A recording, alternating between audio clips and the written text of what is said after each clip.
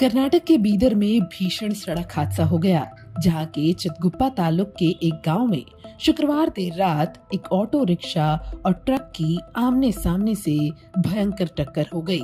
इस हादसे में सात महिलाओं की मौत हो गई और ग्यारह अन्य घायल हो गए